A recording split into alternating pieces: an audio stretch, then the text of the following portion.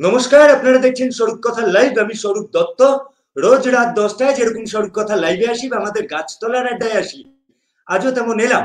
আপনারা যারা এই মুহূর্তে লাইভে জয়েন করেছেন, তাদের সবাইকে শুভ সন্ধ্যা। যারা আগামী সময় লাইভে জয়েন করবেন, তাদের সবাইকে শুভ সন্ধ্যা। আর যারা আগামী সময়ে ভিডিওটা দেখবেন, তাদের সবাইকে শুভেচ্ছা জানাই। আপনারা জানেন, রাত দশটার লাইভে সাধারণত আমি একা আসি না। আমার সঙ্গে থাকেন কোনো একজন বিশিষ্ট অতিথি। এর অন্তরায় আজও নয় এবং আজকে গর্ব তো লাগছেই। আনন্দ হচ্ছে। কেন আনন্দ হচ্ছে? আপনাদের বলি ওই জায়গা থেকে। মনে পড়ে সত্যজিৎ রায়ের জয় বাবা ফেলুনাথ ছবিটা? জয় বাবা ফেলুনাথের একটা জায়গায় শুরুর দিকে যখন কাশিতে ফেলুদা, অর্থাৎ সৌমিত্র চট্টোপাধ্যায় সন্তোষ দত্ত মহাশয় এবং সিদ্ধার্থ চ্যাটার্জি, তপসে, তিনজনে মিলে যখন কাশির ঘরে যান, তখন ঘরে একটা আয়না দেখিয়ে ফেলুদা, অর্থাৎ সৌমিত্র চট্টোপাধ্যায় জিজ্ঞেস করছিলেন, বলুন তো কে থাকেন? তোপসে বেশ বুদ্ধি করে বলেছিল বডি বিল্ডার এখানে আপনাদের খুব একটা বুদ্ধি খাটাতে হবে না। বুদ্ধি খাটানোর দরকার নেই। সেই জয় বাবা ফেলুনাথের গুণময় বাগচি আমাদের অত্যন্ত প্রিয় চরিত্র। আর শুধু ওই সিনেমার চরিত্র জয় বাবা ফেলুনাথের গুণময় বাগচি শুধু তাই তো নন। এই মানুষটা মলয় রায়, কিংবদন্তি আট আট বার একবার নয় দুবার নয় তিনবার নয়, চার পাঁচবার নয়, আট বারের মিস্টার ইন্ডিয়া। তিনি মিস্টার এশিয়াতে গিয়েও পুরস্কার পেয়েছেন, পদক পেয়েছেন। আর মিস্টার ইউনিভার্স বাকি থাকল, তিনি হয়তো পাননি, কিন্তু তার বাবা তিনি পেয়েছিলেন, তিনি হয়েছিলেন মিস্টার ইউনিভার্স। আর ছেলে, সুযোগ্য পুত্র মলয় রায়, আট বারের মিস্টার ইন্ডিয়া। আর জয় বাবা ফেলুনাথের আমাদের সেই প্রিয় গুণময় বাগচি রয়েছেন আমাদের সঙ্গে।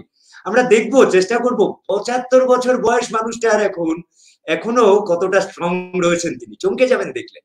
আপনাদের সকলের অনুমতি নিয়ে আমরা ওয়েলকাম জানাই মন মলয় রায় উর্ফে মনো উর্ফে মনোময় গুণময় বাগচি মহাশয়। নমস্কার। মলয় বাবু নমস্কার। নমস্কার। নমস্কার। মলয় বাবু কেমন কেমন আছেন? শরীর কেমন আছে? হ্যাঁ ভালো আছে ভালো খুব ভালো আছে। খুব ভালো আছে। আজকে আপনি আসবেন শুনে আজকে দুপুরে ফের একবার জয় বাবা ফেলুনাথ দেখে ফেললাম। আপনার প্রত্যেকটা সিন একদম একদম। আবার পজ করে করে প্রত্যেকটা সিন দেখলাম। কীভাবে আপনি টাওয়েল দিয়ে পিঠটা মুছছিলেন আয়নার সামনে দাঁড়িয়ে? আচ্ছা আচ্ছা আর জিজ্ঞেস করব পরের দিকে যে সন্তোষ দত্ত মহাশয়কে যখন আপনি কোলে তুলে নিলেন কি কি মজার ঘটনা ঘটেছিল? শুরু করি এই জায়গা থেকে। মনে হয় বয়স কত হলো? মনে হয় বয়স কত হলো আপনার? বয়স তো মোটামুটি হলো সেভেন্টি ফোর সেভেন্টি ফাইভ এর মধ্যে। আপনার বয়স পঁচাত্তর বছর এটা কে বলবে আপনাকে দেখে? এটাই তো শরীরচর্চার গুণ এটাই তো যোগাসনের গুণ। এতদিন ধরে ব্যায়াম করেছিলাম বাবা শিখিয়েছে সেই জন্যই এখনও। লোকেরা বুঝতেই পারে না আমার বয়স কত। এটাই তো শরীরচর্চার গুণ না? সেই জন্য সবাইকে বলি আপনারা শরীরচর্চা করুন। এই যে করোনার জন্য এত লাফালাফি ঝাপঝাপি করছে ডাক্তাররাই বলছে আপনারা ব্যায়াম করুন শরীরচর্চা করুন লাংসে ক্যাপাসিটি বাড়ান। তবেই শরীর সুস্থ থাকবে। ওষুধ বধুর কিচ্ছু না। শরীরচর্চা করলে সবই ভালো হয়ে যায়। মলাদা আমরা আস্তে আস্তে একটু করে আড্ডা আলোচনায় ঢুকে পড়ি। জিজ্ঞেস করি এক এক করে। আচ্ছা। আপনার এই বডি বিল্ডিং বডি বিল্ডিং শুরু করলেন কবে? কার কাছে? তখন আপনার বয়স কেমন? যদি বলেন। আমি বডি বিল্ডিং শুরু করি, বাবাই আমাকে ইন্সপিরেশন দিয়েছেন। আমার যখন সাত আট বছর বয়স, তখন বাবা আমাকে নানান জায়গায় সাঁতার টাতার কাটাবার জন্য আমাদের যে হেদুয়া, আমরা বিনস্টে থাকতাম। হেদুয়া, হেদুয়াতে আমাদের ন্যাশনাল সুইমিং ক্লাব আছে, ওখানে ভর্তি করেছিলেন। তবে আমি জলে দুবার, তিনবার নামি নেমেছিলাম, তো ভালো লাগতো না, ছেড়ে দিতাম। আবার বাবা আমাকে নেক্সট ইয়ারে অ্যাডমিশন করতো। এইভাবে চলে একদিন আমাকে আমার বাবার যে যোগাসনের ক্লাস ছিল সেখানে আমাকে আসন টাসন শেখাতো। আসন টাসন করতে বলতো আমরা করতাম। এইভাবে করতে করতে একটু ব্যায়াম চর্চা ফ্রি হ্যান্ড এক্সারসাইজ করতাম আসনের সঙ্গে সঙ্গে। তারপর করতে করতে আমার শরীরটা একটু চেঞ্জ হতো। এবং বাবা আমাকে বলে দিয়েছিল এবং বাবা ক্লাসে সবাইকে বলতো, এখনও বলি আমি, যে চান করার আগে ভালো করে তেল মালিশ করতে। নিজের হাতে নিজেই তেল মালিশ করতে। তাতে কি হবে? এই ঘষার জন্য, স্কিন ঘষার জন্য রক্ত সঞ্চরণ ভালো হয় এবং তাদের শরীর সুস্থ থাকে। হ্যাঁ আমাদের মাসেলগুলো সতেজ থাকে এবং নার্ভগুলো সতেজ থাকে। সেই সময় আমি যখন করছিলাম, রোজই করি, একদিন করতে করতে দেখলাম যে আমার শরীরে আগে যে আমি খুব রোগা ছিলাম, আমার বলতে লজ্জা লাগে না, আমার তখন চেস্টের মাপ ছিল আঠাশ ইঞ্চি বুকের ছাতি। হ্যাঁ সেই দেখতে দেখতে দেখলাম, আয়নাতে দেখছি যে আমার চেয়ারটা চেঞ্জ হয়েছে। সেই দেখার পর থেকেই আমি ব্যায়াম চালু করে দিলাম, ব্যাস চলছে। আগে আমার বাবারই একটা ক্লাব ছিল, এই আমাদের সরকার লেনে বিরস্ত্রীর সরকার লেনে, তরুণ সংঘ ব্যায়ামাগার। ওখানেই আমার হাট করি। ওখান থেকে আমি ব্যায়াম শুরু করি। ওখানেই করি আমি।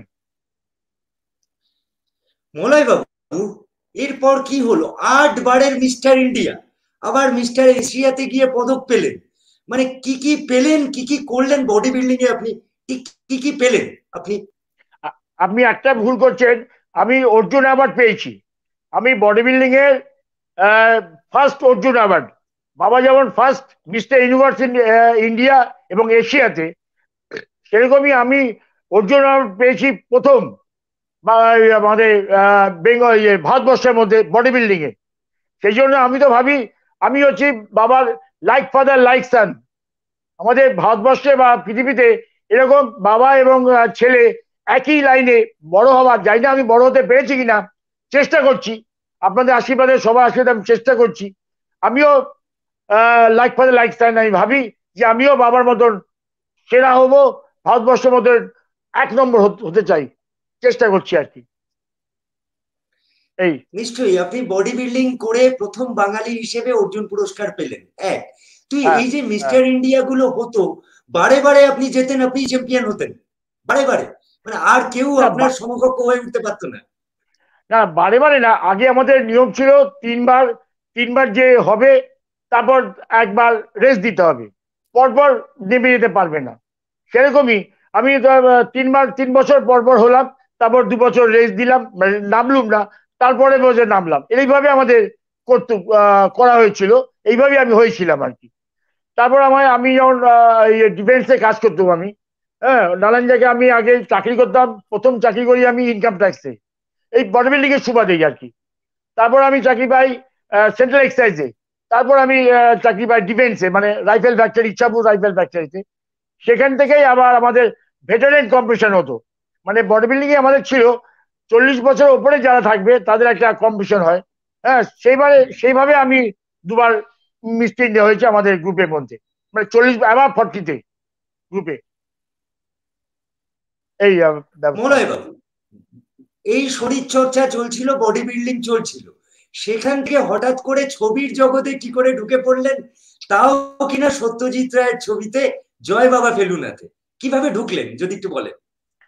হ্যাঁ সেটা তো একটা সত্যি আমার ভাগ্যের লোকে বলে না ভাগ্যর চাকা একবার ভালো একবার বন্ধ হয়ে ঘুরবেই। হ্যাঁ সেই জন্য আমি ভাববো যে আমার সেভেন্টি এইট থেকে আমার ভাগ্যের চাকা ভালোর দিকে ঘুরছিল। কারণ সেভেন্টি এইটে আমি মিস্টার এশিয়া হই। হ্যাঁ সিঙ্গাপুরে আমাদের মিস্টার এশিয়া কম্পিটিশন হয়েছিল সে বছর সেভেন্টি এইট আমি মিস্টার এশিয়াতে সেকেন্ড রানার্স আপ হই। সেই বছরে তারপরে বছর সেভেন্টি নাইনে আমি অর্জুন অ্যাওয়ার্ড পেলাম। এবং তখনই আমাকে বাবার কাছে সৌমিত্র চ্যাটার্জি ব্যায়াম করতেন, আসন শিখতেন। সেই সুবাদে উনিও আসতে আমাদের বাড়িতে আমরা ওনাদের বাড়ি যেতাম। মানে একটা পারিবারিক সম্পর্ক ছিল আমাদের মধ্যে। একদিন বাবাকে সৌমিত্রদা ফোন করেছিল যে দাদা আমার আপনারা তো বডি বিল্ডিং করেন? কেউ আছে নাকি বডি বিল্ডার আমাদের সত্যি যায় উনি আপকামিং বইয়ে জয়বা ফেলুন বইয়ে উনাকে লাগবে আছে বডি বিল্ডার হয়তো সৌমিত্রদাকে বলেছিল সত্যি দায় তখন বাবা, তো আমি তো মিষ্টি এশিয়া হয়ে এসেছি। তখন বাবা আমাকে আমাকে পরের দিন আমাকে ডাকলো, ডেকে বলল যে, মলয় সৌমিত্রদা ফোন করেছিল? তুই একবার ফোন করে ডাকতে ওনাকে কি বলছেন? কি আপনি কিনা এই ব্যাপার? এটা খুব ভালো কথা উনি এত বড় ডিরেক্টর যখন একটা বই করছেন, তখন এই আমাকে, আমি ফোন করলাম সমিতাকে, সমিতা বলল হ্যাঁ এরকম ব্যাপার, তুমি যদি করতে চাও করতে পারো। তখন বাবা আমাকে আর আমার ভাই, মেজ ভাই, মনোজ রায় ওরা ও দুজনকে আমাদের পাঠিয়ে, মনোজ রায়ও ব্যায়াম করতো, আমার মেজ ভাইও ব্যায়াম করতো, তবে সেরকম কম্পিটিশন নামিনি। বাড়িতেই ব্যায়াম ট্যায়াম করতো। তবে আমরা গেলাম, ওনাদের ওনার বাড়িতে সত্যি বাড়িতে বিশপ লেপ্রায় রোডে। আমরা তো নানান ছবিতে, পেপারে, আবার টিভিতে দেখেছি ওনার বাড়ির ইয়েটা। তো সেই বাড়িতে আমরা উঠছি যখন, আমার তো মুখ ধক ধক ধক করছে। যে এত বড় লোকের বাড়িতে যাব? কি বলবে, না বলবে? হ্যাঁ অনেক কথা শুনেছি ওনার নামে, না? যে এত বড় বিশাল লোক, সারা বিশ্বের অ্যাওয়ার্ড উনি পেয়েছেন। হ্যাঁ বিশাল ব্যাপার। যাকে সমুদ্রদার সঙ্গে আমরা যাচ্ছি যাচ্ছি যাচ্ছি, ঘরে উঠবো, ঢুকবো, তার সমুদ্রা পিছন দিক দিয়ে দেখি যে সামনে এখন চেয়ারে বসে আছেন সত্যি রায় আমি তো চিনি না তো। উনি পেছন দিক দিয়ে বসে আছেন। মানে আমরা, আমাদের দিকে পেছন দিকটা বসে আছে। তখন সমুদ্রা পেছন দিকে বলল, দাদা মলাকে নিয়ে এসছি। হ্যাঁ তখন আমি এগিয়ে এসে আমাদের, আমরা ঢুকলাম। তখনও সত্যি রায় ফেরেনি। আমাদের পেছন ফিরেই আমাদের বলছে, বসো বসো। আমরা, আমি আর সৌমিতা বসে বললাম কারণ তারপরে উনি টার্ন নিল আমাদের দিকে। তখন সৌমিতদা সত্যিদাকে বলছে ও এসছে। আপনি যে বলেছিলেন, তাই নিয়ে এসছে। তখন আমাকে, তাকে বলল তুমি তো সব শুনেছো। হ্যাঁ ওরা, ওর কাছে এরকম একটা বডি বিল্ডার আমার চাই। এলুন দেখুন দাদা, আমি তো বাবা বলেছে, বাবা আপনাকে দাদা বলে ডাকে। আমি এসছি আপনার কাছে যেমন আমি তো কিন্তু নাটক ফাটক কিছুই জানি না। কারণ আমি তো কোনোদিন নাটক করিনি, স্কুলে করিনি, কলেজে করিনি। আমি ব্যায়াম ট্যাম নিয়ে থাকি, পড়াশোনা করে এই ব্যাপার। তবে আমার দ্বারা হবে কিনা জানি না, তবে আমি এসছি আপনাকে দেখার জন্যই কিন্তু এসছি, সত্যি কথা। কারণ আমি যে করতে পারব আমি বলতে পারছি না, যদি আপনার কাজে লাগে, আমি অলওয়েজ রেডি এটা আমার সৌভাগ্য যে আপনার কাছে আমি কাজ করতে পারব। বলে হ্যাঁ সে তো কোনো চিন্তা করতে হবে তোমাকে। আমি একটু তোমাকে টেস্ট করে নেব। তোমার কথাবার্তা বলা মুভমেন্ট টেস্ট করব তাহলে একটু সব ঠিক হয়ে যাবে। তারপর তো সবিত আছে, সন্তোষ আছে, ওরা তোমাকে, তোকে, তোমাকে সব ম্যানেজ করে নেবে। এমন ঠিক আছে, কোনো ব্যাপার না। যদি বলেন, নিশ্চয়ই আমি করব। তখন আমি সত্যি আমি বললাম, দেখুন দাদা আর একটা কথা, যে আমি তো ইচ্ছে করেছিলাম আপনার কাছে এসেছি, যে আপনার এত যে অ্যাওয়ার্ড পেয়েছেন, সারা বিশ্বে অ্যাওয়ার্ড পেয়েছেন, আমি তো আপনার দেখতে চাই। কিন্তু ঘরে তো একটাও তো অ্যাওয়ার্ড দেখতে পাচ্ছেন কিছুই তো প্রাইস নেই, সব তো ফাঁকা। আমাকে তাকে বলল, না মলয়, এখানে আমি, বাড়িতে আমি কিছু রাখি না। হ্যাঁ সব তো ব্যাংকে রেখে দিয়েছি।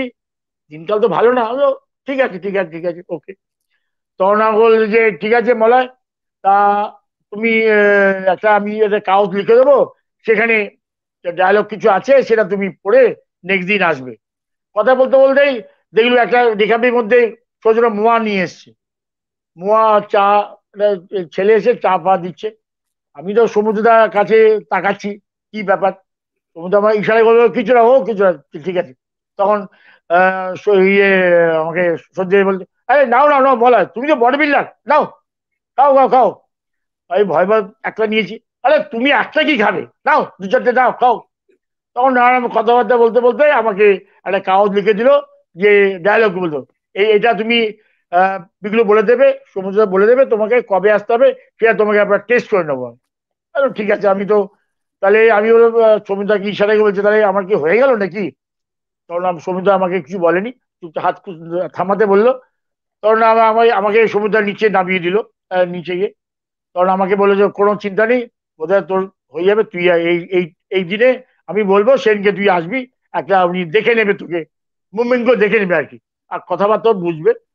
তখন আমাকে যাওয়ার আগে সত্যি বলে, এটা তুমি এই ডায়লগটা বলছি লিখে দিলাম। সে আয়নার কাছে দাঁড়িয়ে দেখবে করবে এবং অ্যাকশনটা বলার চেষ্টা করবে। আর তোমার বাবাও তো একবার সিনেমা করেছিল, বাবা একটা নিষ্কৃতি বইয়ে একটা অভিনয় করেছিল আর কি। হ্যাঁ করেছিল। তোমার বাবাও জানে কীভাবে কি করতে হয়। তো বাবাকে বলবে, আয়নার সামনে বলে বলে, ঠিক তোমার ম্যানেজ হবে কোনো চিন্তা নেই, টেনশন করো না। আমাকে বারবার উনি বলছে টেনশন করো না। কথা ঠিকই। আমি তো দেখলাম, আমার তখনই একটা টেনশন হচ্ছিল। এত বড় লোকের কাছে করব, সিনেমার বলে কথা সত্যিকার বই করব। বিশাল ব্যাপার, কি হবে কি হবে কে জানি। সে ভয় ভয় করছিল আর কি। তারপর ওইভাবে আমার যোগাযোগ হয়ে গেল এবং একদিন স্কিন স্কিন টেস্টে আমার জন্য ডাকলো ডেকে দেখা, দেখার পরে আমি অ্যাপ্রুভ হয়ে গেলাম। ব্যাস, তারপরে আমার জার্নি স্টার্ট কি অসাধারণ কথা বলেন আপনি। ভালো লাগছে আমি আমি সন্তোষ দত্তের পার্টে পরে যাব যে ওনাকে যখন কোলে নিলেন ওই পার্টটাও জিজ্ঞেস করব। তার আগে একটু জিজ্ঞেস করতে চাই। আচ্ছা এবার যে শুটিং শুরু হলো কোনো মজার ঘটনা স্মৃতি হিসেবে আজও আছে? যখন জয় বাবা বেলুনাতে শুটিং করছেন কোনো মজার ঘটনা? কারণ আপনার ওই স্বাস্থ্য সাদা পাঞ্জাবিটা গায়ে চাপাচ্ছেন লুঙ্গির ওপরে কিছু মজার জিনিস আছে? যদি বলতে ইচ্ছে করে। হ্যাঁ মজার জিনিস তো আছে বটেই। আমি যখন প্রথম চিন্তা যখন দেখেছেন, আমি গামছা করছি মানে গাটা পুচ্ছি সেটা করার আগে আমি তো সন্তোষ দত্তকে আমি অত দেখিনি হ্যাঁ? যাকে বই দেখেছি, তার আগে সোনার কেল্লা হয়েছিল আমি যখন দেখেছি বইটাতে। সোনার কেল্লাতে দেখে তখন সেই সেই সিনটা করার আগে আমাকে একটা রিহার্সাল দিয়ে আবার বলেছিল আমাকে সত্যি তাই আমি যে রিহার্সাল দেওয়ার জন্য চেষ্টা করছিলাম এবং আমাকে ডিরেকশন দিচ্ছিল, এই করবে এই করবে এই করবে। তখন সমিত সন্তোষ দত্ত এসছে, সন্তোষ আরে বাবা একই একই একই চেহারা? সেই যে আমাকে করল, দেখি দেখি শুটিং করার আগেই উনি আমাকে, দেখি দেখি তুমি করো করো করো করো। সেই উনি করতে করতে উনি নিজেও করছে, করে দেখছে। সেইটা দেখে আমার খুব মজা লেগেছিল হ্যাঁ। সবুজ দাম আরে বাবা, আপনি আর ওইসব করবেন না, আপনি করতে যাবেন না। ওটা একটা অ্যাক্সিডেন্ট করে দেবেন, সেদিন। মলাকে এক্ষুনি শুটিং হবে মলাকে করতে দিন আগে। তো যাকে, এইটা একটা মজার ব্যাপার হলো। তাছাড়া সন্তোষ তো খুব রিজার্ভ লোক এত একটা লোক এত রিজার্ভ যে আমরা আমাকে অনেক হেল্প করেছে খুব হেল্প করেছে। কি একটা মজা করা কথা আমি এটা বললাম আর কি ব্যাপার। আপনি আবার বলুন আমার তো মনে পড়ছে না জানি না কারও মনে পড়বে কিনা। মানে সন্তোষ দত্ত মহাশয়কে পছন্দ করি না ভালোবাসি না কোন মানুষটা? তাকে তো অন্য জায়গার মতো সম্মান করি। তো সেই লোকটাকে আপনি কোলে তুলে নিলেন।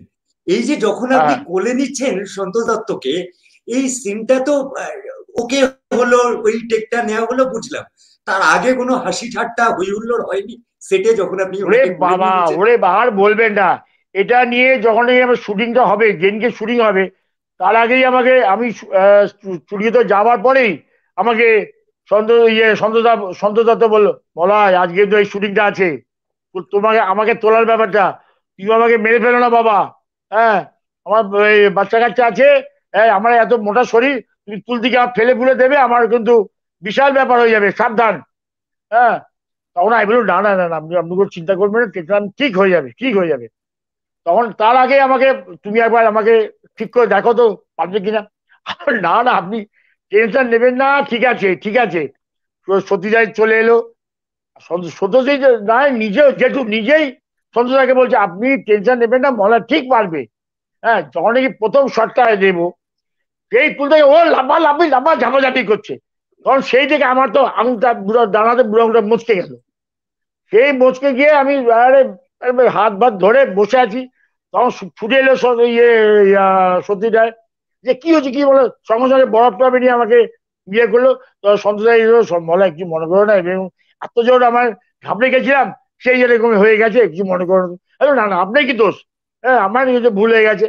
তো আমার হাতে খুব লেগেছিল, যদিও আমিও একবারে খুব বরফ টরফ দিচ্ছিলাম। এইভাবে তিন, চারবার আমার কেক নষ্ট হয়েছে। তখন আমি তো মনে মনে ভাবছিলাম, এ বাবা, এই পুজো আমার আবার ক্যান্সেল না করে দেয় সত্যি যায় তখন আমাকে সন্তোষদা ইয়ে সমুদ্রদা বাইরে নিয়ে গিয়ে বলল, বলে, কোনো ঘাবড়াবি না। ঠিক আস্তে আগে তুলে তুলবি আর ঘুরবি। ব্যাস, তাহলেই দেখবি সব ঠিকঠাক হয়ে আর সন্তোষ আপনি লাফালাফি, পাটা ছুলবেন না। পাটা ছুললেও ভয় খেয়ে যাচ্ছে।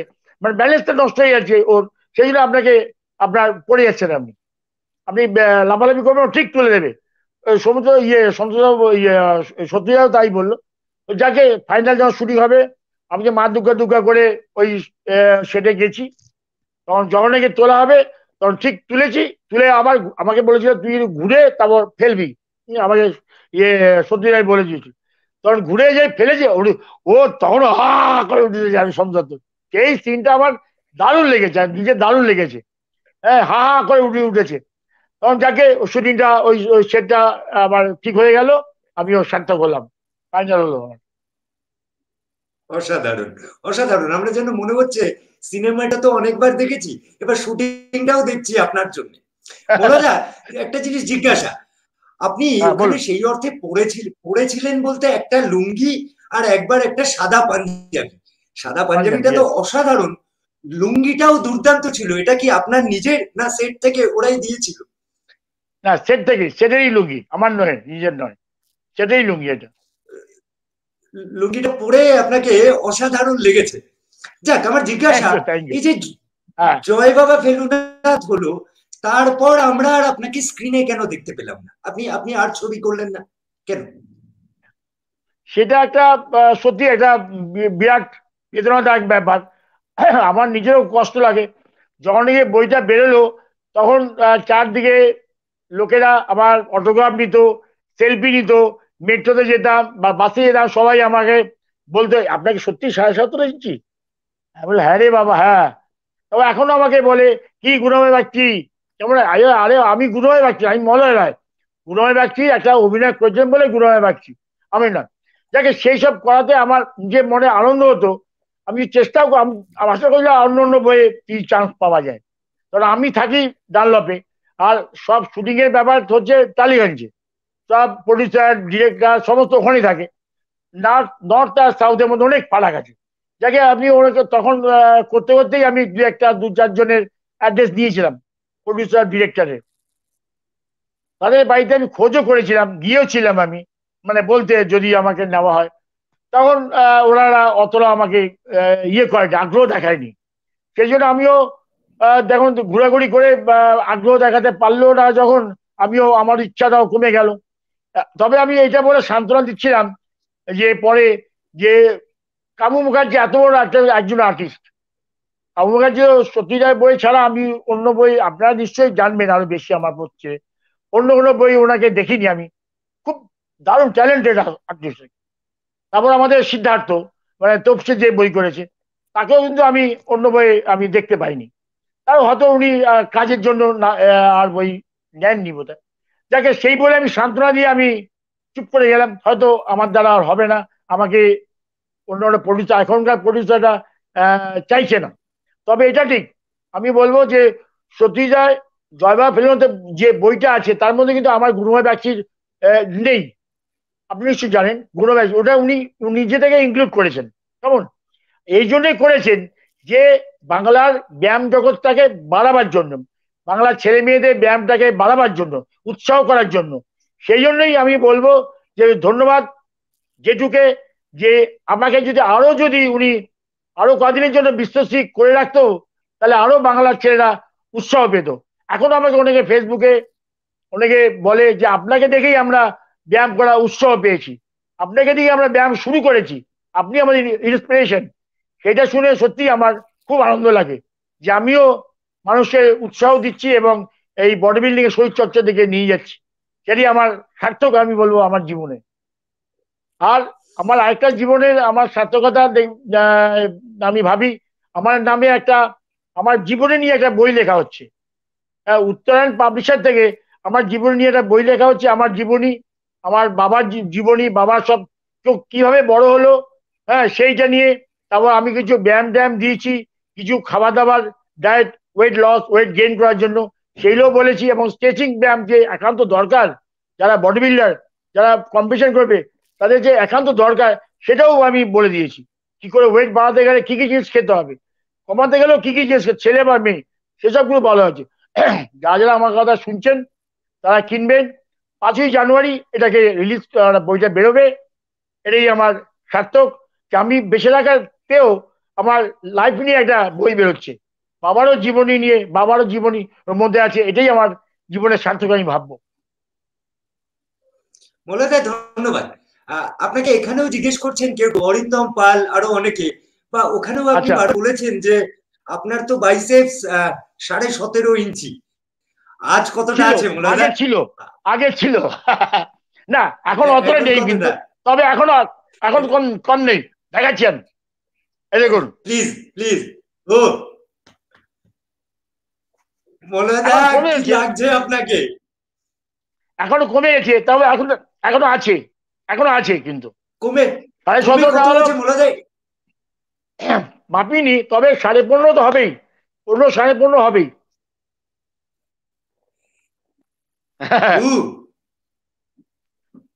থ্যাংক ইউ জীবন সার্থক করে দিলেন জীবন সার্থক করে দিলেন স্যার।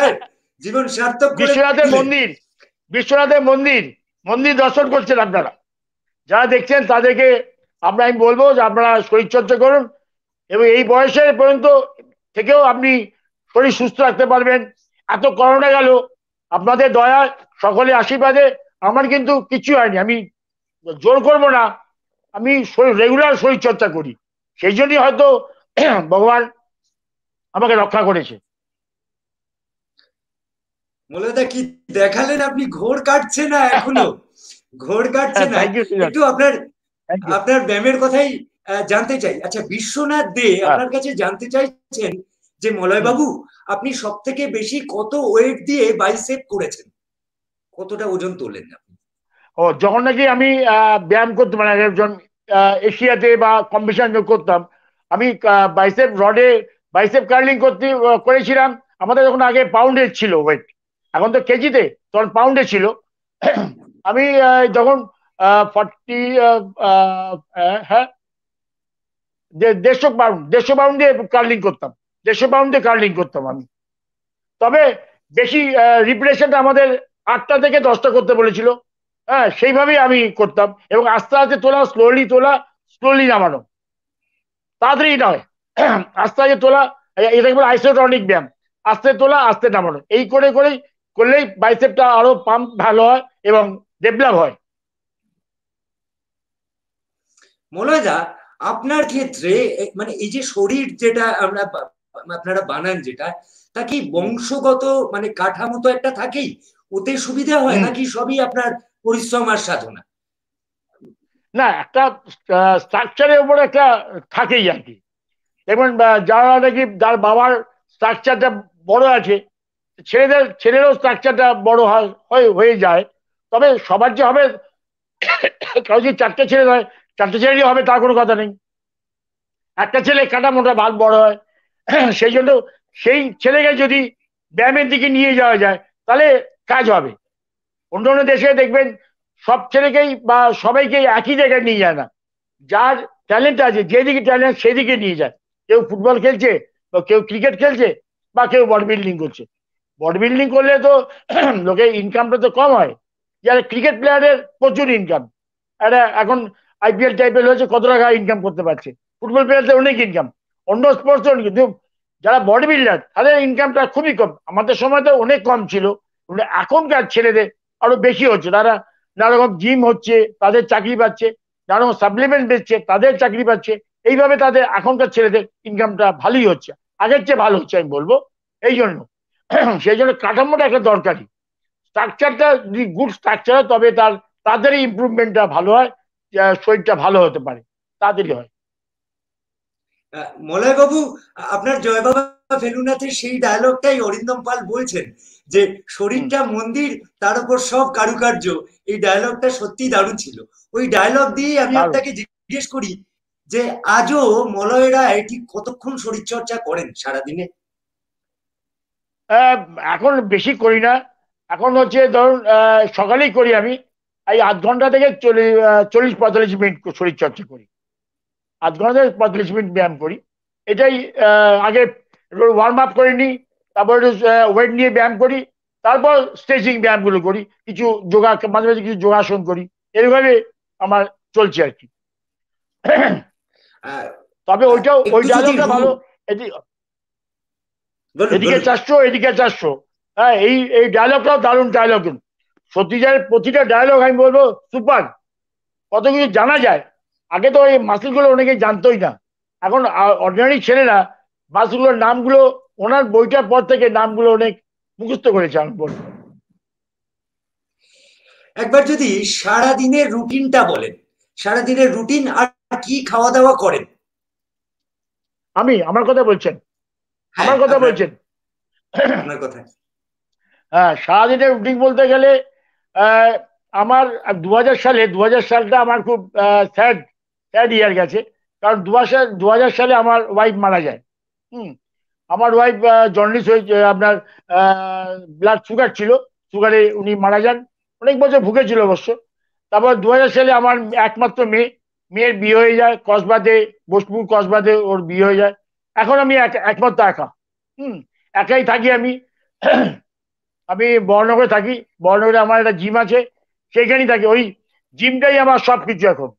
সকালেও যাই জিমে আবার বিকেলেও যাই জিমে সেই জন্য সকাল থেকে আমার একটা কাজের লোকের রান্না, আমি রান্না করতে পারি না। কাজের লোক আছে।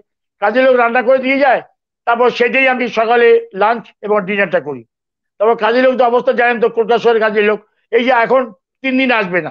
হ্যাঁ সেই তিন দিন আসবে না, কি খাওয়া দাওয়া হবে? আজকে তো কিছুই দোকান থেকে নিয়ে এসে খেয়েছি, আর রাত্রেবেলা তাই হবে কিছু দোকান থেকে নিয়ে এসে খেয়ে খাব। আর দোকানে খাবার পেটে আমার সহ্য হয় না, তাও খেতে হবে, উপায় নেই তো। সেই জন্য আমি একা থাকার জন্য একটু আমার পরিশ্রম হয়, একটু কষ্ট হয় একাকিত্বরা আমাকে কুড়ে করে খায়। এটা খুবই আমার বেদনা, এটা এই কথাটা জিজ্ঞেস করলেন, কেউ জিজ্ঞেস করে, এত লোক ইন্টারভিউ দিয়েছি, কেউ জিজ্ঞেস করে না। এটা আমার খুব বেদনাদায়ক। একা থাকি কিছু করতে পারি না তাই সকালে বিকেলে জিমে গিয়েই সময়টা কাটাই সবার সঙ্গে মিলেমিশেই সময়টা কাটাই। এটাই আর কি ব্যাপার। তারপর রাত্রিবেলা ওই যা আমার হ্যাঁ বলুন। আপনি ভাববেন না এত কারণ আপনি হয়তো ভাবছেন একা কাটান। আমরা বহু মানুষ আপনার সঙ্গেই কাটাই। আমরা প্রায়ই ছবিটা দেখি তখন আপনি আমাদের সঙ্গে থাকেন। তাহলে খাওয়া দাওয়াটা এখন অতটা নিয়ম মতো হয় না তাই তো? কিন্তু যখন আপনি ঠিক যখন ঠিকঠাক ভাবে চলতেন আপনার খাওয়া দাওয়ার রুটিনটা কেমন ছিল? বা কেমন হওয়া দরকার একজন মানুষের যিনি বডি বিল্ডিং করতে চাইছেন? যারা বডি বিল্ডিং করতে চাইছে তাদের আমি বলব সকালবেলা উঠে দুধ ওয়েকারোজ দিয়ে দুধ খাওয়া ডিম সারাদিনে মোটামুটি ছটা করে ডিম খেলে মোটামুটি ভালো হয়। হোয়াইট হোয়াইটটা হোয়াইটের অংশটা। তবে আজকের দিনে যাদের নাকি খাবার দাবার জিনিসের দাম তো বেড়ে গেছে ডিমের দাম দুধের দাম আগের চেয়ে অনেক বেড়ে গেছে। বরবিল করতে গেলে খরচাটা আছেই অবশ্য। হ্যাঁ ওই দুধ খেতে হবে, দুধের সঙ্গে ওটস দিয়ে খেতে হবে, ডিম আছে, তারপর দুটো চারটে কলা খেতে হবে। এই খেয়ে সকালবেলা ব্রেকফাস্ট হয়ে গেল। লাঞ্চের সময় ভাত, যদি কেউ ভাত খায় মানে যারা নাকি মোটামুটি ওয়েট ঠিক আছে, ভাত খাবে চিকেন খাবে চিকেন তবে কষা করে না, তেল জাল কম করে স্টু ধরনের করে খেতে হবে। সবজি বেশি করে খেতে হবে আর ডালটা খেতে হবে। হ্যাঁ স্যালাডটা খেতে হবে। এই করে খেয়ে লাঞ্চটা হয়ে গেল। তারপরে সে আপনার চারটে, চারটের সময় একটুখানি ফল টল খাবে।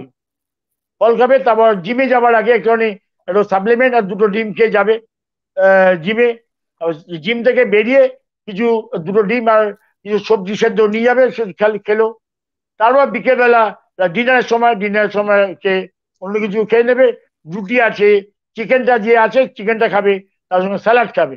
এর মধ্যে কিন্তু তাকে বিকেলবেলার দিকে ড্রাই ফ্রুটসটা খেতে হবে। ড্রাই ফ্রুটসটাকে যেমন নাকি আপনার কাজু কিচমিচ তারপর আপনার খেজুর, এগুলো খেলে ভালো হবে এবং ফলটাও তো তার খেতে লেবুটা রোজ খেতে হবে। এই যে এগারোটার সময় লেবুটা এগারোটা সাড়ে লেবুটা খাওয়া উচিত। মানে আমাদের লাঞ্চ করার একটু আগে, দু ঘণ্টা আগে বা এক ঘণ্টা আগে লাঞ্চটা ইয়ে লেবুটা খেলে ভালো হবে। হজমটা করতে সাহায্য হবে। হ্যাঁ? এগুলো ফল টল করে বেশি করে খেতে হবে। এটাই আমি বলে এটাতে ফলো করা যায় অনেক স্বাস্থ্য ভালো হবে। মলয় বাবু আজ বলছেন প্রায় চুয়াত্তর পঁচাত্তর বছর বয়স হয়ে গেল আপনার। তাহলে চোখের সামনে বডি বিল্ডিং এর তো অনেকগুলো বছর দেখিলেন। এই গত পঞ্চাশ ষাট বছরে বডি বিল্ডিং ঠিক কতটা বদলালো মলয় বাবু কতটা বদলালো? আপনাদের সময় আর এখনকার সময়? হ্যাঁ এখনকার আমাদের সময়ের চেয়ে এখনকার সময় অনেক জিনিস বদলে গেছে। আমাদের সময় এত মেশিন মাল্টিপারপাস মেশিন আসেনি। আমাদের সময় আগে রড দিয়ে বেঞ্চি তারপর আমাদের ট্রেন পুলি এসব আমরা নিয়েই করতাম। এখন আমরা নানা রকম সাইন্টিফিক মেশিনপত্র তৈরি হয়েছে সাইন্টিফিক ব্যায়াম তৈরি হয়েছে, যতদিন যাচ্ছে আরও ডেভেলপ করছে। সব স্পোর্টস যেমন ডেভেলপ করছে বডি বিল্ডারও ডেভেলপ করছে। একটা মাসলের ডেভেলপ করতে আমরা যেসব আইটেম করতাম, এখন সেটা আরও অনেক রকম আইটেম করছে। তাহলে যাতে মাসেলটা আরও চারদিকে ডেভেলপটা ভালো হয়। বিদেশি তাদের এই বডি বিল্ডার তাদের দেখে বা আমাদের এখানে দেশে যারা বডি বিল্ডার আছে, তারা নানা রকম নতুন নতুন ভাবে এক্সামিন করে, ডাক্তারের সঙ্গে পরামর্শ স্পোর্টস মেডিসিন ডাক্তারের সঙ্গে পরামর্শ করে তারা এরকম ব্যায়াম তৈরি করছে। আমাদের সময় আগে স্পোর্টস মেডিসিন ডক্টর ছিল না। আমাদের এই গেমের একটা স্পোর্টস মেডিসিন ডক্টরের খুব দরকার। কারণ তার শরীরে কি কি ডেফিসিয়েন্সি আছে সেই অনুযায়ী তাকে যদি নানা রকম ফুড দেওয়া যায় নানা রকম মেডিসিন দেওয়া যায়, তাদের সাথে ভালো হয়। তবে আমি বলব না যে স্টেরয়েড নেওয়ার কথা। এখনকার দিনে সাপ্লিমেন্ট স্টেরয়েড নেওয়ার খুব প্রবণতা বেড়েছে। আমি দেখেছি আমাদের আমাদের জিমেই নতুন ভর্তি হলেই লোকে বলে যে কি মেডিসিন নেব, কি ইয়ে স্টেরয়েড নেব। এটা ওকে জিজ্ঞেস করে। কিন্তু আমার মতে যে স্টেরয়েড নেওয়া উচিত না আমি সেই জন্য সকল যারা কোচ আছে, তাদের আমি অনুরোধ করব। যারা নাকি স্টুডেন্ট তারা তো বুঝতে পারবে না না? যারা কোচ তাদেরই অনুরোধ করব। তারা প্রথম প্রথম যারা করছে, তাদের ওইসব জিনিস না দেয় ভালো। কদিন যাক, কদিন দু চার বছর যাক, তারপর ওদের আপনার মেডিসিন বা সাপ্লিমেন্ট দেওয়া যাবে, দেওয়া যেতে পারে। কিন্তু প্রথম প্রথমত তারা দেওয়া হচ্ছে উচিত না। এমনি ন্যাচারাল ফুড দিয়ে তাদের কিছুটা ডেভেলপ করা হোক। তারপর তাকে যদি প্রয়োজন মনে করে, ডাক্তাররা যদি বলে মানে স্পোর্টসম্যান ডাক্তাররা যদি বলে, তাহলে তাদের দিক তাহলে কোনো ক্ষতি নেই। এইভাবে নানা রকম মেশিন তৈরি হচ্ছে, তাদের আরও ডেভেলপটা হচ্ছে। ছেলেদের এখন ইন্ডিয়ান বডি বিল্ডারদের অনেক ডেভেলপ হচ্ছে, এখন অনেক মিস্টার এশিয়া বা মিস্টার ইউনিভার্স ছেলেও তৈরি হচ্ছে। এটা খুব ভালো লক্ষণ। আমাদের ভারতবর্ষের বডি বিল্ডার আরও এগিয়ে গেছে, খুব ভালো। তবে এটা নিয়ে যদি আরও ছেলেদের ইনকামের ব্যবস্থা হতো, যেমন আইপিএল হয়েছে ক্রিকেটের প্রমোশন হচ্ছে। আইপিএল করে ক্রিকেটের অনেক প্রমোশন হচ্ছে। ফুটবল এরকম হচ্ছে। এর বডি বিল্ডিংয়ে যদি এটা এরকম আইপিএল ধরনের প্রফেশনাল বডি বিল্ডিং ইয়ে কম্পিটিশন করা যায় তাহলে আমার মনে হয় এটা বডি বিল্ডারদেরও উন্নতি হবে আরও ভালো হবে। এই স্পোর্টসটা এগিয়ে যাবে। হ্যাঁ এটি আমার অনুরোধ সবার কাছে। ধন্যবাদ মলয় বাবু আপনার জন্য একটি প্রশ্ন আছে তরিকান্তি বিশ্বাস। তিনি আপনাকে বলছেন আচ্ছা আপনার নাম জয় বাবা ফেলুনাথে কেন গুণময় বাগচি রেখেছিলেন? সত্যজিৎ বাবুকে জিজ্ঞেস করেছিলেন? মানে আপনার নামটাও তো রাখতে পারতেন, মলয় রায়। কেন গুণময় বাগচি? জিজ্ঞেস করেছিলেন এ কথায়? না, সত্যি, দাদা, এই যে আপনি বলেছেন, খুব ভালো করেছেন। আমি কিন্তু জিজ্ঞেস করিনি। কারণ সত্যি যাই এবার কথা বলা, আমার তো দুঃসাহস নেই। কার আছে আমি জানি না। উনি কেন রেখেছে, কি রেখেছে আমি বলতে পারি না। আমি বলি, জিজ্ঞেস করিনি, কেউ কোথাও বলেনি কিন্তু। এই যে সৌমিত্র চ্যাটার্জি ফেলুদা। ফেলুদার নামটা কেন দিয়েছে? কেউ জিজ্ঞেস করেছে ওনাকে? নিশ্চয়ই জিজ্ঞেস করেনি। কেউ বলতে পারেনি। এত তো লোক রিপোর্টার আছে এত লোক আছে, ওনাকে কেউ জিজ্ঞেস করেনি। ওনার মাথা থেকে যা এসছে, ওরা, ওনার এত বড় বুদ্ধিমান মাথা, উনি যা করেছে, নিশ্চয়ই ভালোর জন্যই করেছে। নিশ্চয়ই এর কোনো কারণ আছে। সেটা আমার কাছে জানি না। জানি না ওনার ছেলে সন্দীপ রায় নিশ্চয়ই জানবে। উনি বলতে পারবে হয়তো কিছু। আমি বলতে পারি বাবু সন্দীপ রায়ের সঙ্গে যোগাযোগ আছে? সন্দীপ রায় যখন ছবি করেন আপনার কথা ভাবেন বা এরকম কিছু যোগাযোগ আছে? না ওনার সঙ্গে আমার যোগাযোগ আছে বটে তবে উনি যে বইগুলো করেছে আমাকে ডাকেনি আমি পরে একদিন বলেছিলাম ওনাকে যে দাদা যদি মনে করেন বাবুদা যদি মনে করেন আমাকে ডাকবেন আমিও আপনার বই কিছু কাজ করতে চাই। তো দেখব দেখব তো তারপর দুটো বই হয়ে গেছে। আমাকে ডাকেনি। হয়তো প্রয়োজন ছিল না। ওই না লাগলে তো ডাকবে না। পরে হয়তো ডাকতে পারে। এই আমি আশায় আছি আর কি। নিশ্চয়ই নিশ্চয়ই। মলয়বাবু আপনাকে বিশ্বনাথ দে জিজ্ঞেস করছেন যে মলয়বাবু হ্যাঁ। আপনার সেরা বডি শো কোথায় করেছেন যদি একটু বলেন? হ্যাঁ সেরা বডি শো কোথায় করেছি? সেটা তো এখন বলতে পারব না। আমি শুধু এটাই বলতে পারব জনায় মিস্টার এশিয়া করেছিলাম সিঙ্গাপুরে ওটাই বোধ আমার সেরা হবে। সেই জন্যই আমি মিস্টার এশিয়াতে হয়েছিলাম। সেটাই আমার কাছে বলা সেরা বডি শো হবে। সেটাই আমার কাছে শ্রেষ্ঠ। এটাই বলব আমি। আচ্ছা বাবু আমার এমনি জিজ্ঞেস করতে ইচ্ছে করছে যে আজকের দিনে হ্যাঁ। দু হাজার একুশে এসে এখন বাংলা ছবির সঙ্গে যারা জড়িয়ে রয়েছেন তারা আপনাকে ডাকছেন না? বা আপনার যদি মনে হয় যে এখনকার বাংলা ছবির নায়কদের এরা সকলেই তো শরীর সচেতন আগের মতো নয় এখন সবারই শারীরিক কাঠামো বোধ হয় বেশ ভালো। আপনার জায়গা থেকে দেখলে কি মনে হয় যে এখন বাংলা ছবির অভিনেতা বা নায়কদের যা স্বাস্থ্য কিছু বলতে চাইবেন আপনার পরামর্শ? না না, আমার আমার মতে তো বাংলার যারা এখন অভিনেতারা আছে, আমি তো দেখছি তারা অনেক জিমে ব্যায়াম ট্যায়াম করছে, শুনছি আর কি। ছবি ছবি ফেসবুকে বা ইনস্টাগ্রামে দেখছি তারা ব্যায়াম ট্যায়াম শুরু করেছে। আমার মনে হয় আরও তাদের ডেভেলপ করা উচিত, শরীরটাকে আরও সুন্দর করা উচিত। যেমন এই বম্বে বিদেশের কথা ছেড়ে দিলাম বম্বে যারা করে, তাদের শরীরটা অনেক ডেভেলপ তারা ভালো ভালো কোচ নিয়ে এসে, ভালো ভালো জিনিস খেয়ে তারা আরও শরীরটা ডেভেলপ করে, তাদের নায়কদের শরীরটাই দেখেই পাবলিক এন্তু পায়। আরও আরও তাদের আকর্ষণ বেড়ে যায় দেখার জন্য। সেই জন্য আমি বলব, যারা নাকি বাংলা বইয়ে অভিনেতা করছেন, তাদের আরও শরীরচর্চা করুন, আরও ভালোভাবে প্রপার গাইড নিন প্রপার ট্রেনিং করুন তবে তাদের আরও মাসেলটা ডেভেলপ করতে হবে, তবে তাদের আউটলুকটা ভালো হবে আমার মনে হয়। হ্যাঁ সেই জন্যই আমি যাই না ওনারা কি মনে করবে। আমার মনে হয় বাংলা বইয়ের আর্টিস্টদের আপ টু মার্ক নয় এখনও। আরও ডেভেলপ করা উচিত, আরও উচিত আর কি। এটাই আমি বলব আর কি, এটাই কথা। মলয় বাবু আপনি আপনার কথা থেকেই মুম্বাই পেলাম। আপনার কখনো মনে হয়নি যে চলো না বলিউডে একটু দেখি মুম্বাইতে একটু যাই। আমি একটা উদাহরণ দিতে চাই। দারা সিং হ্যাঁ। তিনি যেমন তার ওরকম শারীরিক কাঠামো তিনি যেমন স্বাস্থ্য সচেতন মানুষ। পাশাপাশি তিনি তো খুব ভালো অভিনেতাও ছিলেন। মনে হয়নি কখনো যে আমি একবার বলিউডেও নিজের ভাগ্য পরীক্ষা করি? সে তো দুরস্ত আমি বাংলাতেই চান্স পেলাম না বলিউডে কি করতে যাব আমি? বলিউডে কাকে চিনি আমি? বাংলার লোকই আমাকে নিল না। নিজের ঘরের লোক যদি আমাকে ভালোবাসলো পাড়ার অন্য লোক, পাড়া থেকে আমার ভালোবাসবে, সে কি হতে পারে কখনো? সেটা আমার আমার ধারণা সেটা হয় না। আগে নিজের ঘরটাকে বাঁচাই আমি। তারপরে বেঘরে যাব আমি, না? বেঘরে গিয়ে কি হবে? সে আগেই তো খাদিয়ে দেবে। ওখানে আরও রাজনীতি। হ্যাঁ ওখানে আরও রাজনীতি। ওরা নিজের লোকদেরই ওরা নেয়, শুনেছি। তবে আমাকে নেবে কে? তাছাড়া দারা সিং তো বডি বিল্ডার ছিল না না? ওরা কুস্তিকে ছিল দারা সিং দারা সিং আগে আমাদের নেতাজি একটু নিম্ন স্টেডিয়ামে একটা কুস্তির কম্পিটিশন হয়েছিল, বাবার সাথে গিয়েছিলাম আমি। তখন দেখি দারা সিংকে আমি। তখন উনি সিনেমাতে আসেন। তারপরেই বোধহয় সিনেমাতে এসেছিল মনে হয় আমার। সে উনি তো কুস্তিগির। বডি বিল্ডারদের চেহারা ওরকম হয় না। বডি বিল্ডার চেহারা বডি বিল্ডারের মতো নয় হ্যাঁ সেই জন্য আগে বডি বিল্ডারদের ভালোবাসতে হবে।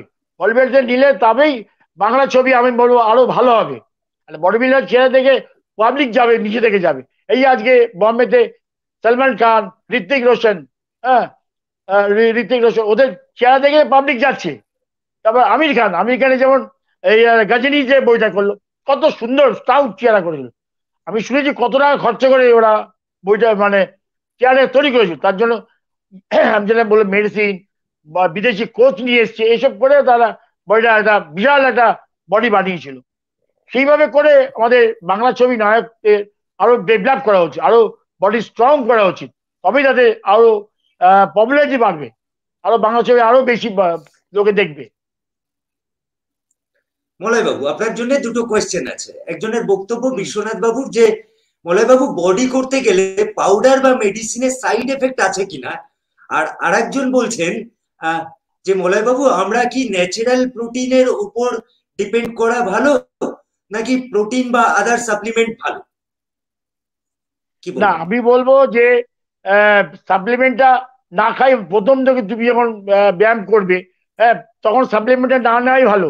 প্রথমে ন্যাচারাল ফুডটা নিয়ে তুমি এগোতে থাকো এগোতে থাকো। যখন দেখবে যে তোমার বডিটা ভালো হয়েছে একটু আউটস্ট্যান্ডিং মতন হচ্ছে তখন তুমি সাপ্লিমেন্টে নাও।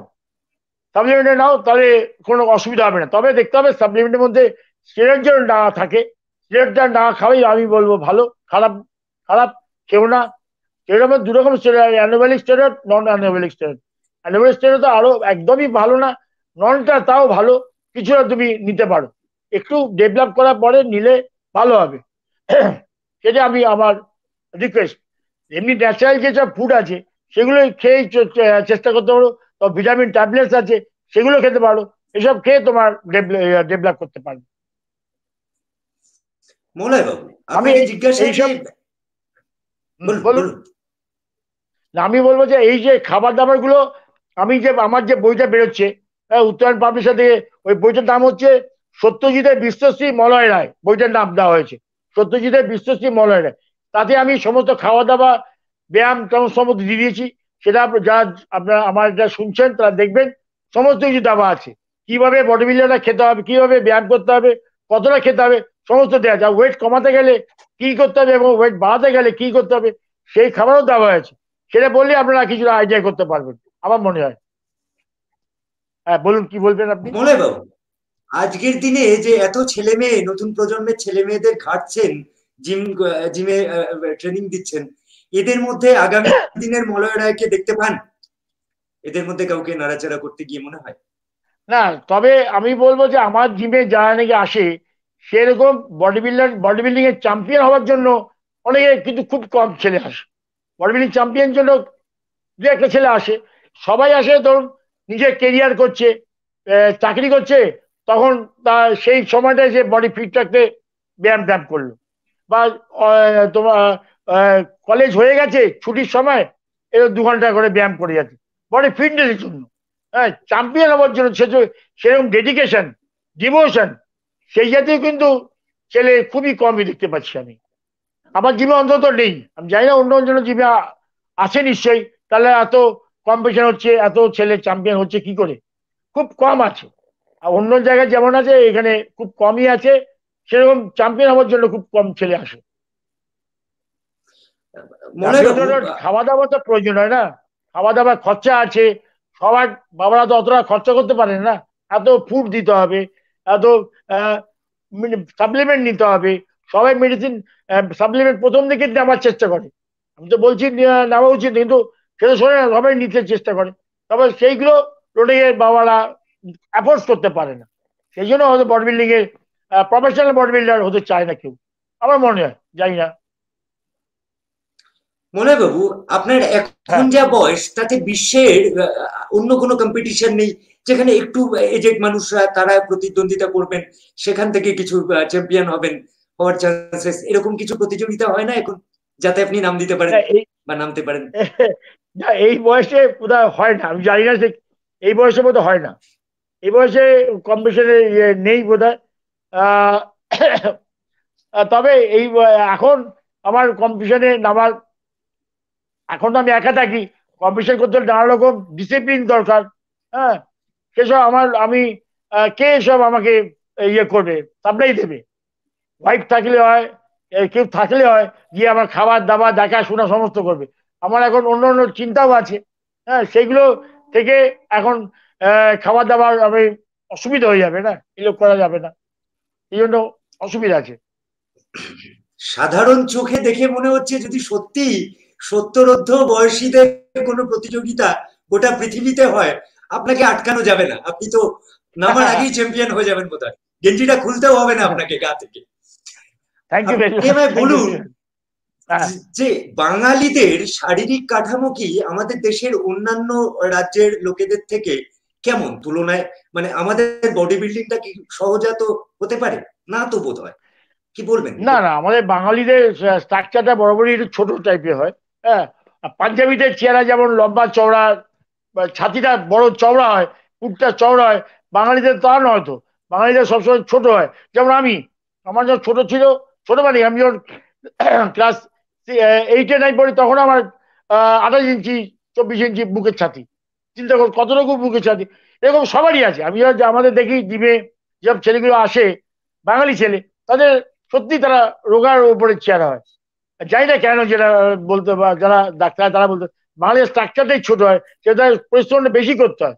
তবেই তাদের ডেভেলপটা বেশি হয়। তাহলে পাঞ্জাবিদের দেখবেন স্ট্রাকচার বড় তাহলে তাদের কষ্টের জোরও আছে, তাদের গায়ের জোরটাও জন্ম থেকে বোধ বেশি। তারা বেশি ওয়েট দিয়ে করতে পারে। বাঙালিরা কিন্তু অত ওয়েট দিয়ে করতে পারে প্রথম থেকে। আস্তে আস্তে হতে পারবে। নিশ্চয়ই পারে। এটাই তাই বলব। বাঙালিদের কমই আছে। যখন কম বয়সে বডি বিল্ডিং করতেন তখন যা যা খাওয়ার দাওয়ার দরকার ছিল প্রয়োজন ছিল সব পেতেন। মানে তখন আপনাদের অবস্থা ভালো না কষ্ট করেই করতে হয়েছিল? না বাবা আমাকে যতটা সম্ভব আমাকে হেল্প করেছে। বডি বিল্ডিং করি যেহেতু, তখন আমার আমি যখন বডি বিল্ডিং করছি, তখন বাবা নানান জায়গায় চাকরি করছে। মানে আমাদের ক্যালকাটা ইউনিভার্সিটি তারপর ল কলেজে ট্রেনার ছিল যে ফিজিক্যাল ইনস্ট্রাক্টর তারপর নানান জায়গায় ক্লাস করতো, যোগাসন ক্লাস শেখাতো। এইভাবে শো টো আগে শোয়ে পয়সা ছিল না। এইভাবে করে বাবা চাকরি করতো না। এইসব জায়গা থেকে বাবা আর্ন করে আমাদের, আমার যতটুকু দরকার, বাবা আমাকে হেল্প করেছে। খুব চেষ্টা করেছে আর বাবা তো বাড়িতে থাকতোই না। সকাল থেকে বেরিয়ে যেত আবার সেই রাত্রি এগারোটার সময় ফিরত। বাবাকে আমরা দেখতেই পেতাম না আমরা বাড়িতে।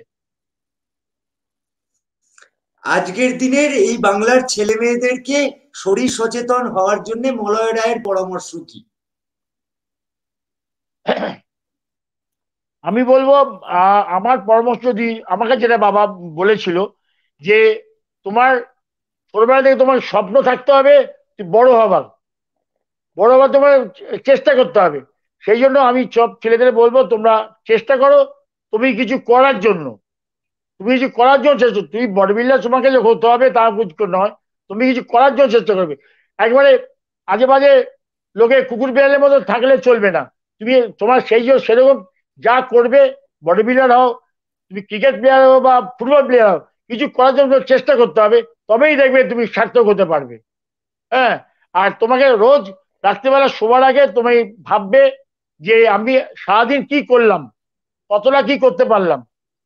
যেগুলো তুমি ভালো করলে কি মন্দ করলে সেটা তুমি ভালো মনে ভাববে এবং তার পরের দিন কি করতে হবে সেটাও তুমি ভেবে রাখবে। তবেই দেখবে জীবনে তুমি এগিয়ে যেতে পারবে। এটি আমার বাবা শিখিয়েছে এবং আমার বাবার যে গুরুদেব বিশ্বচরণ ঘোষ উনি আমাকে বলতেন, এই যে এইভাবে তুমি ফলো করে যাও, তবেই তুমি করতে পারবে। আরেকটা কথা আমি বলব সত্যিজয়ের কাছ থেকে আমি একটা জিনিস শিখেছি খুবই যে মানুষের কাছে যখন ব্যবহারটা নেবে তাকে তার সঙ্গে ভালো ব্যবহারটা করবে, তবেই তুমি ভালো ব্যবহার পাবে। এটাই আমাকে যেটু আমাকে বলে দিয়েছে। সেটাই ভাবে আমি এগোচ্ছি আর কি। জানে কত কি এগোতে পারব? এগোন এগোন আর বাবু আপনাকে আমাদের অনুরোধ, হাত জোর করে অনুরোধ, চেষ্টা করুন ওরকম একটা কম্পিটিশন বিশ্বজোড়া, যেখানে আপনি এখন নামতে পারেন। কারণ আপনি আপনি ওখানে জিতবেন ও আমাদের সাধারণ চোখ বলে। আজকে আর প্রশ্ন করব না। আপনার যাওয়ার আগে যদি মনে হয় আপনি নিজে কিছু আরও গল্প বলবেন তাহলে বলুন। কিন্তু এটা অনুরোধ করব আপনাকে। তা হলো জয় বাবা ফেলুনাতে তো বলতে হয়নি। আপনি নিজেই কি সুন্দর লুঙ্গিটা পরে খালি গায়ে এসে সন্তোষ দত্তকে দেখিয়েছিলেন। আমার নাম স্বরূপ দত্ত। দত্ত তো আছে। যদি দূর থেকেও একবার অনুষ্ঠানের শেষ বেলায় একবার কালো গেঞ্জিটা দূর করে তুলে দেন দিয়ে আপনার মন্দিরটা দেখান একটা প্রণাম করে বিদায় জানান যদি সম্ভব হয় না করলেও ঠিক আছে বললেন। বলে হ্যাঁ আমি আপনিও বললেন নিশ্চয়ই আমি দেখ দেখাবো। এই বয়সে আমি কতটা রাখতে পেরেছি এবং যারা নাকি আমার লোকে দেখছে তাদেরও আমি বলব যে আপনারা দেখুন মন্দির আগের মতন মন্দির নেই ঠিকই। মন্দিরে পুরনো হয়ে গেছে। পুরনো হয়ে গেলে মন্দিরে কত কত বেড়ে যায় হ্যাঁ? জানি না আমার কত বাড়বে কিনা। আমি দেখাচ্ছি আপনাদের। যদি খুশি করতে পারি, আমি ধন্য মনে করব। দেখাচ্ছি। Wait please sir please sir উ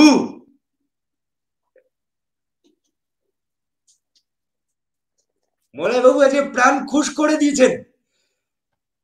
বিশ্বশ্রী মিস্টার এশিয়া আটবারের মিস্টার ইন্ডিয়া। কি দেখালেন? কোথায় লাগে সলমান খান? কোথায় লাগে? মোলাজা সলমান খান কোথায় লাগে?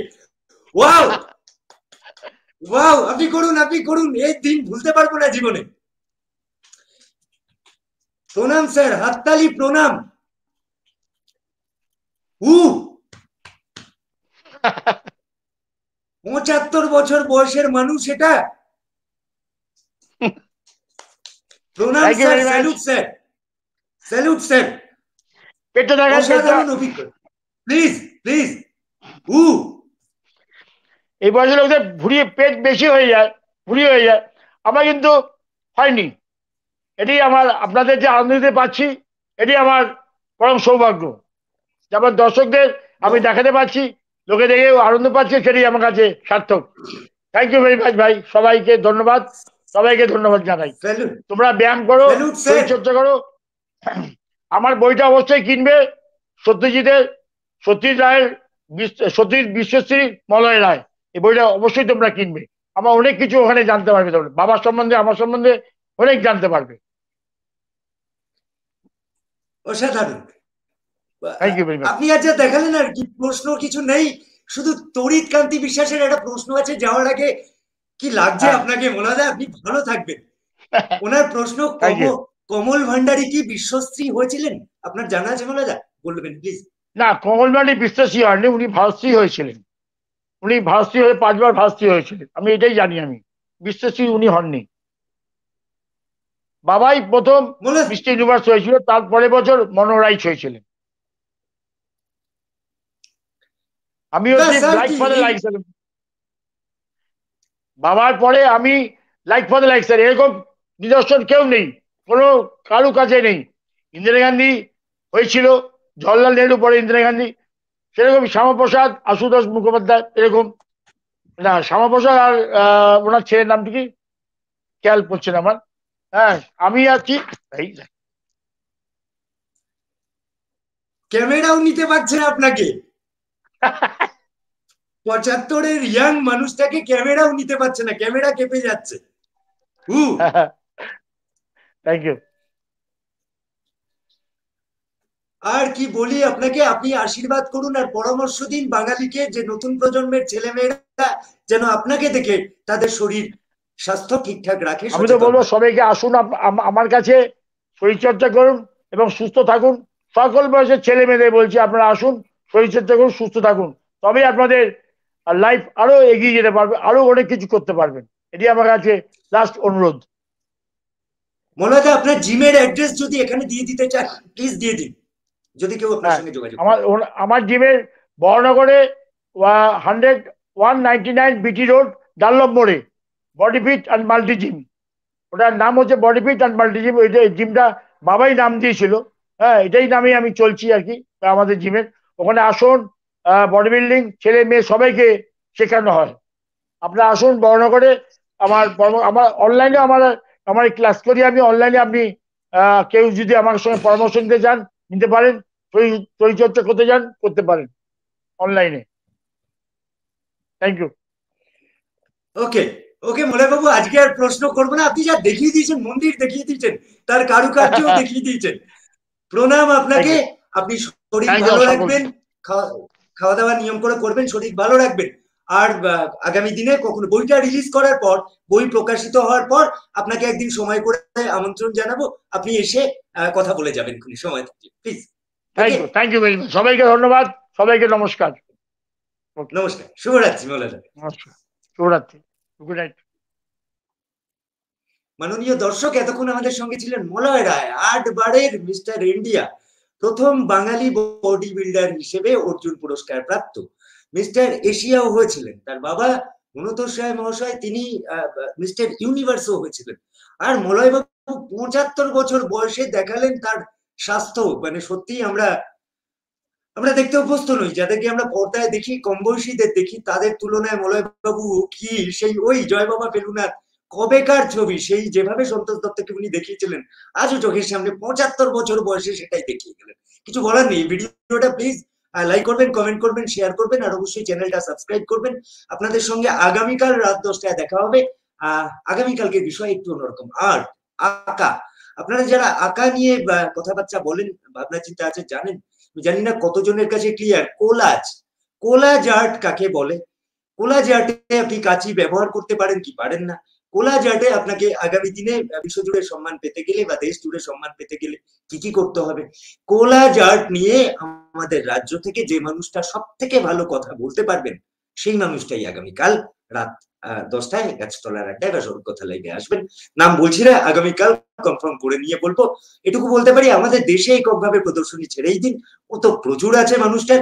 হংকং, দুবাই, লন্ডন, আমেরিকা, প্রত্যেকটা জায়গায় মানুষটার কোলাজ আর্টের প্রদর্শনী হয়। বিশ্বজোড়া খ্যাতিতা তিনি আসবেন আগামীকাল রাত দশটায়। আমরা আমাদের ইউটিউব কমিউনিটিতে দিয়ে নেব। আর মলয় বাবুকে দেখে অন্তত। তরিত বাবু শশাঙ্ক বাবু আমি জানি না আপনাদের বয়স ঠিক কত? পঁচাত্তর বছরের মলয় রায় আজ যা যা দেখিয়ে দিলেন, আপনারা প্লিজ নিজেদের শরীর চর্চা করুন আমার তো হবে না বোধ আমাকেও যদি চেষ্টা করতে পারেন। মলয় রায়কে আজকে স্যালুট এবং প্রণাম। এই ভিডিওটা দেখবেন প্লিজ দেখবেন সকলে। নিচে কমেন্ট করবেন। ছোট ছোট ছেলে মেয়েদের যাদের বয়স কম, তাদেরকে দেখাবেন। যে পঁচাত্তর বছরের মলয় রায় নিজেকে কি করে রেখেছেন? আজও। আজকের মতো সবাইকে শুভরাত্রি। আগামীকাল রাত দশটায় দেখা হচ্ছে কোলা জার্ট নিয়ে। ভুলবেন না। নমস্কার। শুভরাত্রি।